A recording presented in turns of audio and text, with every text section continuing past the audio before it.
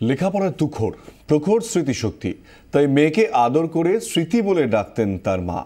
আর্থিক অনটনের মধ্যেও পিঙ্কি ওরফের স্মৃতির লেখাপড়ায় দড়ি টানেননি। দাড়ি টানেননি, তবে একটি বাস দুর্ঘটনায় তছনছ করে দেয় পিঙ্কির পরিবারকে।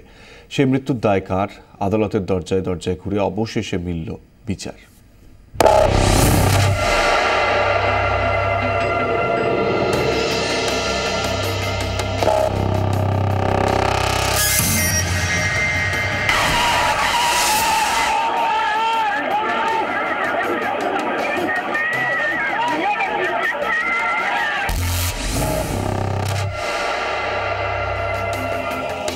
সেদিনের স্মৃতি আজও মনে পড়লে শিউরে ওঠেন বিজয় সাহা।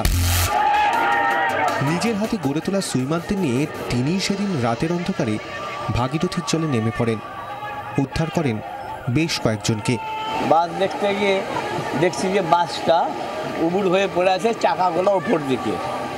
আমরা নৌকায় করে গেলাম নৌকা করে যাওয়ার পরে দেখছি যে ওখানে যা জল আছে নামা যাবে না। এরপরে আমরা ওখান থেকে আবার বেরিয়ে এলাম। বেরিয়ে আসার পরে ওনাকে বললাম, আপনি এক কাজ করুন, ট্রেনের ব্যবস্থা করুন। আমরা ওখান থেকে কিছু প্লেন ফ্লেন সব আপনার চেন ফ্লেন সব নিয়ে এসে ওটাকে নামালাম।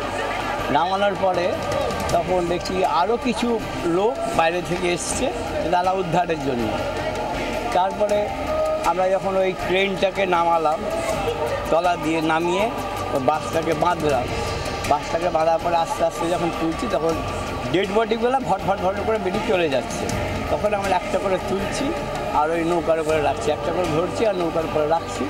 এই করতে করতে চোদ্দ থেকে পনেরো খান আমরা বডি পেলাম। বাকি কিছু পাইনি।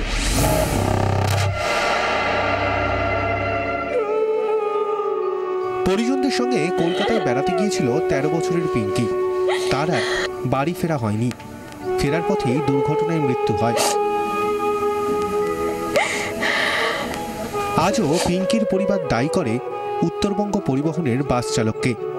তাদের মতে চালক সজাগ হলেই এড়ানো যেত দুর্ঘটনা। ছিল নিশ্চয়ই, আমি ভাবি, ওর বাবা ড্রাইভার হলে কি হবে? আমি ভাবি যে নিশ্চয়ই কোনো ভুল ছিল। যেহেতু বহরমপুর বাস ডিপোতে গাড়িটা চেক করে চালানো, চালাই নিয়ে আসছে, কিন্তু ড্রাইভারের কিছু ভুল ছিল।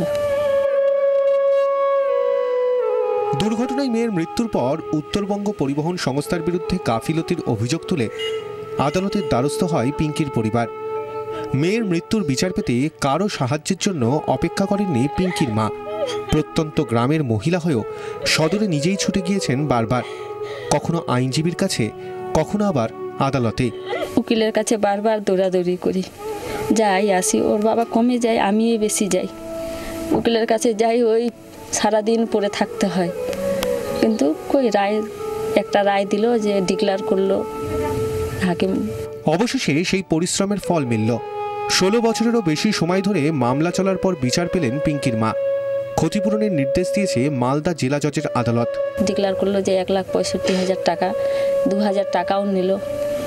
বলছে ডিক্লার যখন হয়ে গেল তারপর থেকে তো আর কোনো ই নাই কিছু নেই।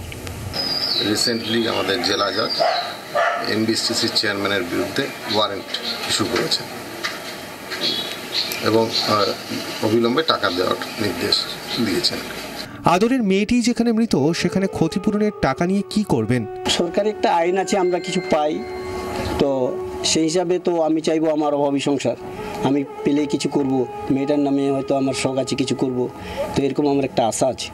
ওই টাকাটা পাইলে আমাদের সংসারে কিছু হবে উন্নত কিছু করে যাব মেয়ের জন্য। যেহেতু মেয়েটার আমার খুবই আশা ছিল। আর পড়াশোনা মানে দারুণ ভালো ছিল দেখে ওই মেয়ের জন্য আর কি। রিওয়াইন্ড হয়ে এ ছবি দেখাতে পারবে না, বহরমপুর থেকে মালদা চলে যাচ্ছে বাসটি।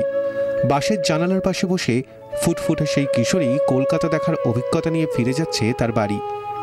এ কাহিনীতে দেখা যাবে না, সাঁতার শিক্ষক বিজয়বাবু নিরানব্বইয়ের সেই দিনটিতে শান্তিতে বাড়িতে ঘুমোচ্ছেন। আসলে সব থেকে বড় সত্যিটা হলো সেদিনের বাস দুর্ঘটনা। না, পিঙ্কি আর ফিরবে না। ফিরে আসবে না এই ষোলোটা বছর। এখন সামনের দিকে এগোনোর লড়াই। যেমনভাবে ভেবেছেন পিঙ্কির বাবা মা রণজয় সিংহ, ভবানন্দ সিংহ ও সোমা মাইতির রিপোর্ট, চব্বিশ ঘণ্টা।